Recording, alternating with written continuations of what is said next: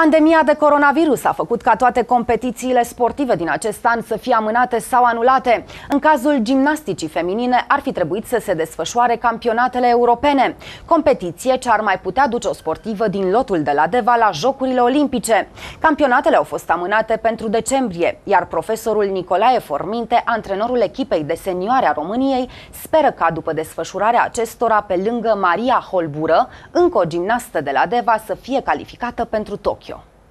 Prezent în emisiunea Super Dimineața de pe 1 TV, profesorul Nicolae Forminte, antrenorul lotului național de gimnastică senioare de la Deva, a vorbit despre viitorul acestui sport în contextul în care competiții importante au fost amânate, precum campionatul european. Programat inițial în primăvară la Paris, concursul care contează și ca un criteriu de calificare pentru Jocurile Olimpice de la Tokyo, la rândul lor amânate, a fost mutat la Baku în perioada 17-20 decembrie 2020 2020. Nicolae Forminte speră ca după europene încă o gimnastă de la Deva să se califice pentru Tokyo, acolo unde Maria Holbură și-a câștigat deja participarea. Că această posibilitate există în decembrie la campionatul europene de la Baku, unde sper că ele se desfășoare și această comisie să nu fie amânată.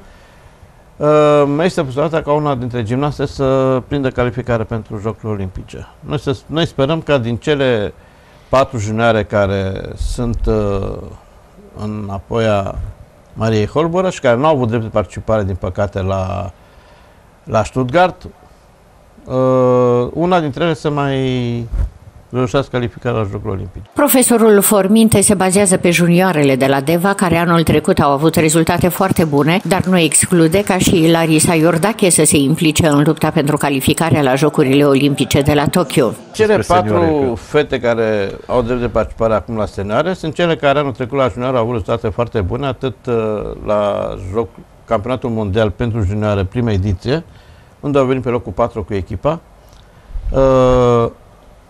Uh, au uh, venit pe locul 2 la Jocurile Olimpice pentru Tineret, au luat medalii individuale și ele ar fi în ordinea aceasta. Uh, Stănciulescu Ioana, Sfiringu Silviana, uh, Duță Antonia și Trică Daniela.